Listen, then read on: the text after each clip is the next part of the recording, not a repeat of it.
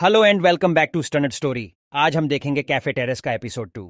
हम शुरुआत में सभी लड़कियाँ को अपना इंट्रोडक्शन देते हुए देखते हैं। पर्पल बोलती है, मैं हाई स्कूल के सेकेंड ईयर में पढ़ती हूँ और मैं कराटे क्लब में ज्वाइन हूँ। ऑरेंज बोलती है, मैं यूनिवर्सिटी के सेकेंड ईयर में पढ़ती हूँ। ग्रीन बोलती है, मैं भी सेकेंड ईयर में ही पढ़ती हूँ। ऐसे ही सब लोग अपना काम धंधा बताते हैं। इसके बाद हयातो कहता है, हम सभी यहीं पर रहते हैं, इसलिए चलो, सभी अलग अलग काम को डिवाइड कर लेते हैं। पिंक बोलती है मैं कुकिंग नहीं कर सकती। इससे मेरे नाखून खराब हो जाएँगे। पर्पल बोलती है, मैं चीज़ों को बर्बाद कर सकती हूँ, लेकिन मुझसे लॉन्ड्री नहीं होगी। सब लोग कुछ ना कुछ बहाना बनाने लगते हैं। ये सब सुनकर हयातो गुस्सा हो जाता है और बोलता है, तुम लोग कंप्लेन करना बंद भी करो। पर्पल बोलती है कि जब हम यहाँ पर रहते थे तो हमारा सारा काम ग्रैंडमा ही कर देती थी। पिंक बोलती है, ग्रैंडमा हमारे लिए सब कुछ कर देती थी। ऑरेंज कहती है, वो तो लॉन्ड्री का काम भी कर देती थी। ये सब सुनकर है हयातो बोलता है। क्या तुम्हें नहीं लगता कि मेरे ग्रैंड माँ तुम लोगों के वजह से बहुत ही जल्दी मर गई? ये सुनने के बाद तो वो पाँचों लड़कियाँ बोलना बंद कर देती हैं और सब काम के लिए भी मान जाते हैं। ग्रीन बोलती है, मैं कुकिंग अच्छी तरीके से कर सकती हूँ, साथ में क्लीनिंग भी कर दूँगी। अब हम हयातों को देखते हैं, जो बोलता है कि चलो तो पहले हम लोग घर की सफ़ाई करते हैं और उसके बाद कैफ़े का काम शुरू करेंगे। अब अगले सीन में हम देखते हैं, ऑरेंज को घर क्लीन करते हुए।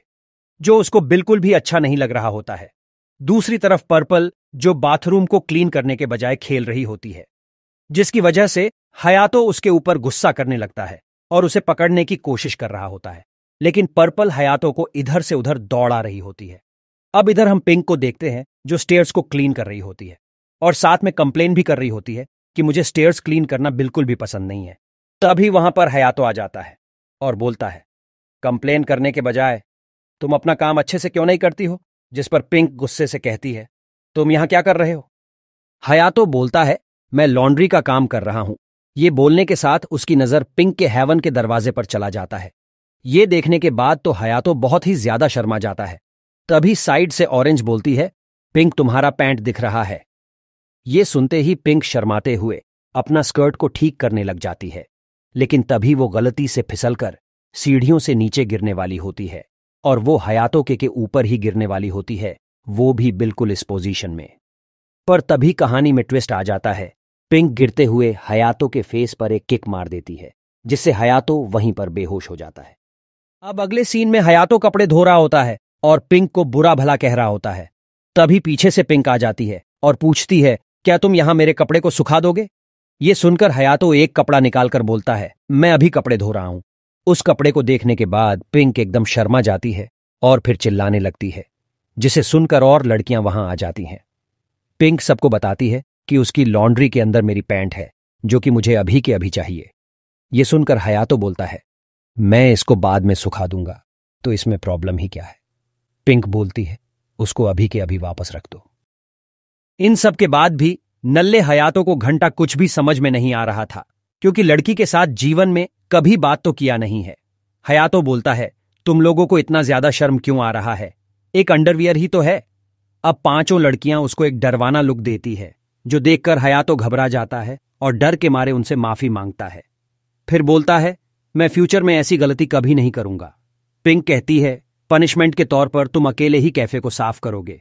अब हम अगले सीन में हयातों को देखते हैं, जहाँ वो अकेले ही कैफ़े को साफ़ कर रहा होता है। वहाँ उसकी नज़र एक पुराने कॉफ़ी बनाने की मशीन पर जाती है, जो देखकर हयातो को एक फ्लैशबैक याद आता है, जहाँ पर वो अपने ग्रैंडमा से बोल रहा होता है कि आपको एक नया कॉफ़ी मशीन खरीद लेना चाहिए, जिस पर उसकी ग्रैंड माँ बोलती है, ये कॉफ़ी मशीन बहुत ही ज़्यादा मेरे लिए खास है, क्योंकि इस कॉफ़ी मशीन से बहुत ही अच्छी कॉफ़ी बनती है। अब प्रेजेंट में वहाँ पर ग्रीन आ जाती है और वो हायतों को बोलती है कि डिनर रेडी हो गया है, इसलिए जल्दी चलो और हमारे साथ खाना खा लो। इस पर है हयातो बोलता है, तुम लोग मेरे बिना खा लो, मैं बाद में खा लूँगा। ग्रीन बोलती है कि हम लोग एक ही साथ खाएँगे, क्योंकि हम सब फैमिली है, और तुम्हारे ग्रैंड माँ ने भी हम लोगों को बोला था कि हम लोग तुम्हारे साथ खाना खाएँ। अब हम डिनर का सीन देखते हैं, जहाँ सब लोग जब एक साथ डिनर कर रहे होते हैं, तभी पर्पल बाहर उन लोगों को चेरी ब्लॉसम दिखाती है, जो देखकर वो सभी लोग बहुत ज़्यादा खुश हो जाते हैं, और फिर वो सभी एक साथ बहुत ही अच्छी तरीके से डिनर करते हैं। इसके बाद हम हयातों को देखते हैं, जो बाथ लेते हुए रिलैक्स हो रहा था। तभी पिंक बाथरूम में आ जाती है और वो पूरी तरीके से नेक्ड होती है, जिसको हयातो साफ़ साफ़ देख लेता है। पिंक उसे बाथरूम में देखकर बहुत ही ज़्यादा शर्मा जाती है और वो चिल्लाना शुरू कर देती है। पिंक की चीख सुनकर वहाँ पर पर्पल आ जाती है, जो बहुत ही ज़्यादा गुस्से में होती है। हयातो कहता है, मुझे यहाँ औरेंग ने बाथ लेने के लिए बोला था, लेकिन पिछली बार की तरह ही पर्पल उसे पीट देती है। अब अगले सीन में हयातो और पाँचों ललत डिडिकियाँ कैफ़े में होते हैं और हयातो उन लोगों को बोलता है, कैफ़े खोलने से पहले हम सभी लोगों को एक बार प्रैक्टिस कर लेना चाहिए, इसलिए मैंने सोचा है कि मैं तुम लोगों को कॉफ़ी बनाकर पिलाऊँगा ये सुनकर वो पाँचों लड़कियाँ हयातो को हल्के में लेने लगती है और उसका मज़ाक उड़ाने लगती है। लेकिन हयातो मन में बोल रहा होता है, मैं बचपन से दादी को कॉफ़ी बनाते हुए देख रहा हूँ और मुझसे अच्छा कॉफ़ी नहीं बनेगा, ये तो बिल्कुल भी नहीं हो सकता है। इसके बाद हयातो कॉफ़ी बनाता है और बहुत ही ज़्यादा ओवर कॉन्फिडेंस होता है। जब सब लोग कॉफ़ी को टेस्ट करते हैं तो उसका स्वाद काफ़ी ज़्यादा बुरा होता है, जिसके वजह से हयातो का पोपट हो जाता है, हयातो गुस्से में बोलता है, तुम लोग बस मेरी कॉफ़ी की तारीफ़ नहीं करना चाहते, क्योंकि मैं बहुत ही ज़्यादा अच्छा कॉफ़ी बनाता हूँ। ये सुनकर ब्राउन बोलती है, हम इस बेकार कॉफ़ी को बिल्कुल भी नहीं भेज सकते हैं। ये सुनने के बाद तो हयातो एकदम डिप्रेस हो जाता है। अब हम रात का सिन देखते हैं। जहाँ पर हयातो कॉफ़ी बनाने की प्रैक्टिस करता है, और वो अपने आप से ही बातें किए जा रहा था। तभी साइड से ब्राउन बोलती है, क्या तुम थोड़ा चुप करोगे? क्योंकि मैं अपने काम पर फोकस नहीं कर पा रही हूँ। हयातो शौक में बोलता है, तुम यहाँ पर कब से हो? ब्राउन बोलती है, मैं तो यहाँ पर एक घंटे से हूँ। यह सुनने के बाद हयातो मन में बोलता है तो फिर इसने मेरी सारी बकवास सुन ली होगी। फिर ब्राउन उसके पास आती है, और उसके पास जाकर कुछ पैसे रखकर बोलती है, मैं कॉफ़ी बनाने जा रही हूँ। इसके बाद हयातो कहता है, जब तुमने सुबह मना किया था तो मुझे बहुत बुरा लगा था। तो क्यों ना तुम मुझे कॉफ़ी बनाकर पिलाओ। अब थोड़ी देर बाद ब्राउन कॉफ़ी बनाकर हयातो को भी एक देती है, उस कॉफ़ी को पीने के बाद। हयातो काफ़ी ज़्यादा शौक होता है, क्योंकि उसको अपनी ग्रैंड माँ की बनाई हुई कॉफ़ी की याद आ जाती है। हयातो फिर ब्राउन के पास जाता है और बोलता है, तुम्हें कॉफ़ी बनाना ग्रैंड माँ ने सिखाया है ना? इसके बाद ब्राउन कहती है, हाँ तो क्या? हयातो बोलता है, मुझे भी कॉफ़ी बनाना सिखा दो। क्योंकि मैंने अपने ग्रैंड माँ से कभी भी कॉफ़ी बनाना नहीं सीख पाया। ये सुनने के बाद ब्राउन हयातो को देखे जा रही थी। फिर हयातो अच्छे से रिक्वेस्ट करता है कि प्लीज़ मुझे सिखा दो। हयातो को ऐसा बोलता देखकर ब्राउन कहती है, तुम बड़े क्यूट हो हयातो। क्यूट शब्द सुनते ही हयातो शर्म के मारे वहाँ से जाने लगता है। ब्राउन उसका हाथ पकड़कर कहती है, चलो मैं तुम्हें सिखाती हूँ। अब अगले सिन में हयातो फिर से बात ले रहा था और इस बार वहाँ पर पर्पल आ जाती है। वो भी बिल्कुल नेक्स्ट होती है पिंक की तरह। अब हम सबको तो पता ही है कि हयातों के लगने वाले हैं। अब सुबह के समय हम हयातों और ऑरेंज को साथ में देखते हैं। ऑरेंज कहती है, मुझे क्यों तुम्हारे साथ कोर्ट सी जाना पीट रहा है, जिस पर हयातो बोलता है? तुम थोड़ा कंप्लेंट करना बंद करोगी। हमें अपने बिज़नेस पार्टनर को बताना होगा कि हम लोग कैफ़े को रिओपन कर रहे हैं। ऑरेंज कहती है, मुझे तो लग रहा है कि हम लोग एक डेट पर जा रहे हैं। हयातो इस पर कहता है, ऐसा कुछ नहीं है। अब हयातो सब लड़कियों का डिफेक्ट बताने लगता है कि उन लोगों में उतना कम्युनिकेशन स्किल नहीं है। और ऐसा नहीं है कि मैं तुमसे कुछ एक्सपेक्ट कर रहा हूँ। अब दोनों एक आदमी के पास जाते हैं और अपने कैफ़े के बारे के बताते हैं। हयातों का भी कम्युनिकेशन स्किल बेकार होता है, जिससे उस आदमी का दिमाग खराब हो रहा था। तभी बीच में ऑरेंज अपना टैलेंट दिखाती है, जिससे वो आदमी भी खुश हो जाता है। और वो उन लोगों की मदद करने के लिए तैयार भी हो जाता है। ऐसे करके दोनों बहुत लोगों के पास जाते हैं और उन्हें अपने कैफ़े के बारे में बताते हैं। हर जगह ऑरेंज ही चीज़ों को संभाल रही थी, और नल्ला हयातो तो हर जगह सिट्यूशन खराब कर रहा था। अब ऐसे ही शाम हो जाता है। इसके बाद हम दोनों को देखते हैं, जो कि एक श्राइन में जाते हैं। ऑरेंज एक पर्ची निकालती है, और उसे देखकर बहुत खुश होती है।